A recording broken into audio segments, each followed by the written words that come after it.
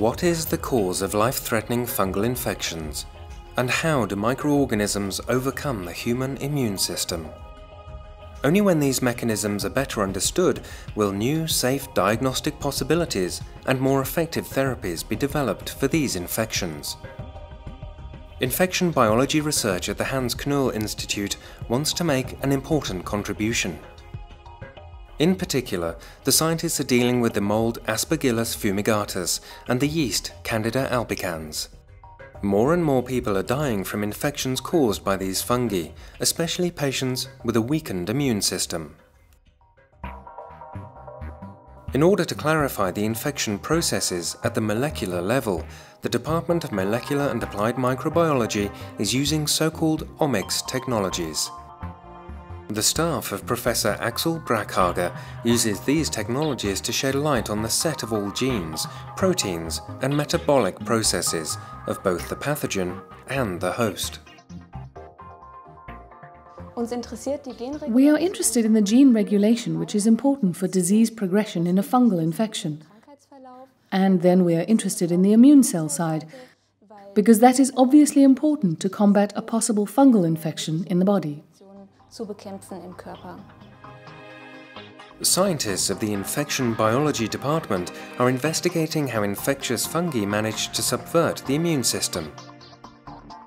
Among other things, they are concerned with the question of how phagocytes respond to Candida albicans. Professor Peter Zipfel's team is also exploring the genetic basis of infection. The results of their work could significantly improve the treatment of, for example, a specific kidney disease. Yeasts such as Candida albicans can be found in every healthy person's body, but the otherwise peaceful roommate can become a dangerous pathogen under certain conditions. Especially in women, who often suffer from Candida infections or in patients with a weakened immune system. Professor Bernhard Hube and his staff of the Department of Microbial Pathogenicity Mechanisms examined why this is so. In the process, they were able to decipher the function of several disease-causing genes in Candida albicans. Professor Ilse Jacobsen and her research group Microbial Immunology want to find out what happens between fungus and human host at the molecular level when an infection occurs. These complex reactions are shown by using infection models. We are interested in which interactions take place between pathogenic fungi and the cells in the body during infection, and how these processes contribute to the fact that either the host becomes ill or the fungus is killed and the host becomes healthy. How the fungus Aspergillus fumigatus spreads to the lungs and becomes a life-threatening invasive aspergillosis is being examined by the employees of the Department of Cell and Molecular Biology, led by Professor Hans-Peter Saluz. For this, they use a PET-CT, a special imaging technique. The scientists have radioactively labeled fungal strains and are therefore able to track the temporal and spatial spread of infection. By means of PET-CT, we can examine the course of disease of invasive fungal infections. We're also investigating the effectiveness of antifungal substances, and what is also very important, we are reducing the need for experimental animals. Professor Oliver Kurzai and his research group Fungal Septomics are also interested in the interactions between fungus and host.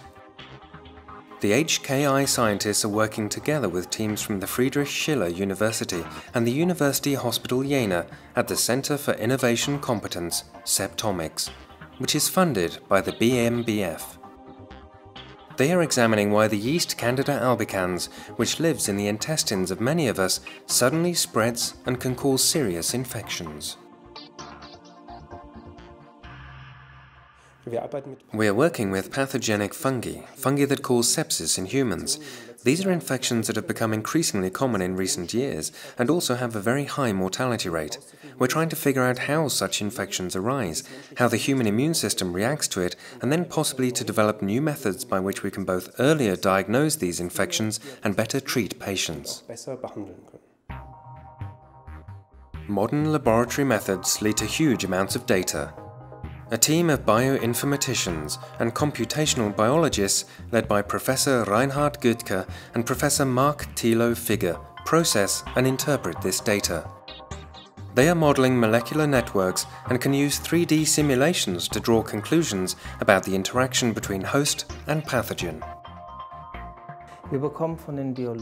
We get several types of data from the biologists, genome-wide expression data or image data, and we combine them into virtual models of infection.